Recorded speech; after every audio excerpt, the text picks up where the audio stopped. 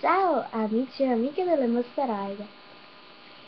Oggi, proprio qui, nella mia stanza, farò la recensione di una Monster High. Però voi, adesso ve la farò vedere così chiaramente sapete il nome, se non lo sapete non siete fan delle Monster High. Eh, voi dovrete nei commenti mettermi il suo nome. E il primo o la prima che metterà eh, il, il nome della Monster qui sotto nei commenti uh, vincerà una dedica. Il secondo eh, vincerà uh, un mi piace. Eh, scusate secondo un commento e il terzo eh, vincerà un mi piace. Ok possiamo iniziare L'avete già visto il suo visino lì sotto.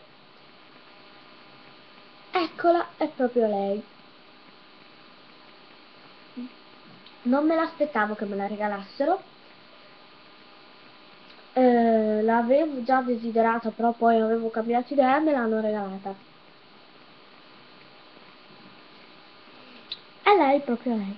La mostrerò misteriosa. Bene. Eh, penso che me l'abbiano presa alla Toy Center, penso. E viene da Perugia, poi non so. E... È bellissima.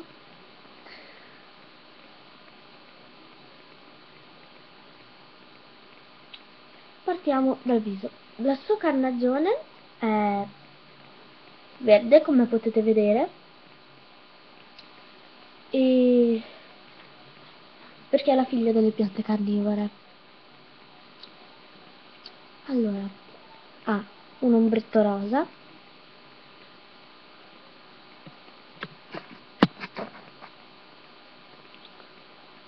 Ecco. Ed ha le ciglia molto lunghe.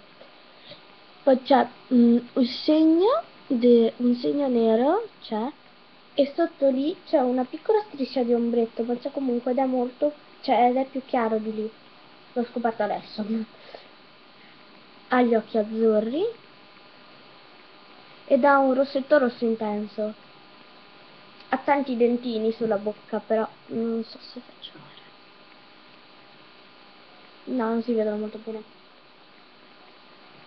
La Monster High misteriosa da una parte ha dei lunghi capelli fu scusate, da una parte ha dei lunghi capelli fucsia verdi e dall'altra è rasata.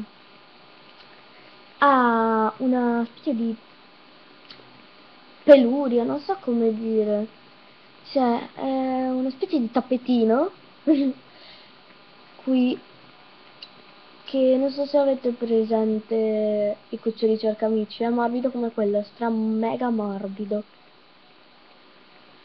La mostraga ha le orecchie che sono fatte a foglia, ricordano una foglia, e sembrano tipo rovinate.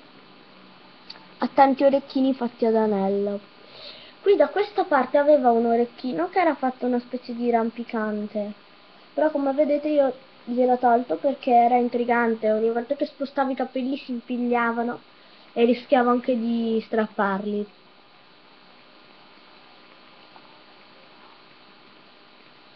Ecco. Ehm, passiamo al suo, alla parte di sotto. La Mostrag ha una collana fatta di foglie, non so se si vede bene una collana fatta di foglie che ha due strati e poi sembra che abbia un ciondolo sempre tutto fatto di foglie. Ha un, gia un giacchettino senza maniche che è di, è di jeans e da una parte c'è c'è un teschietto e c'è scritto EcoPunk con dei bottoni argentati uh, ha una maglietta bellissima che è tutta nera e è come se avesse dei graffiti sopra. E non ha dei simboli c'è un teschietto con scritto EcoPunk come sul giacchetto. Beh insomma è molto bella però è difficile da capire perché è tutto sovrapposto. Sotto ha una gonna piccolina una minigonna eh, nera molto semplice devo dire e poi sotto ancora ci sono dei leggings eh, rosa fluo con delle righe verde fluo e delle scritte nere illeggibili perché sono talmente piccole boh. sotto la mostra misteriosa ha ehm, delle specie di rampicanti sulle gambe che vanno a finire dentro lo stivale i suoi stivaletti sono viola fucsia hanno i lacci a forma di liana il tacco che sembra avvolto da una corda e delle cerniere che però sono ehm, come si dice in rilievo sullo stivale sono sempre fucsia non si vedono molto bene. La cosa più simpatica degli, dei suoi stivaletti è che hanno la bocca con i dentini verdi proprio carino questo Bene. Passiamo alle cose che ho trovato nella sua confezione. C'era il piedistallo, che è nero, come quello di Rochelle, la spazzola, che è nera come quella di Rochelle, il suo animaletto da compagnia Ceulian, che è una piantina carnivora, con i dentini bianchissimi, che sembra o sta sorridendo o sta ringhiondo, non si capisce bene, però sembra stia sorridendo più che altro. Ha due occhietti piccoli neri e il suo vasetto arancione. Una cosa molto simpatica che ha la cresta, come un rocchettaro, una pianta rocchettara. È fatta di foglie, chiaramente, non è di capelli.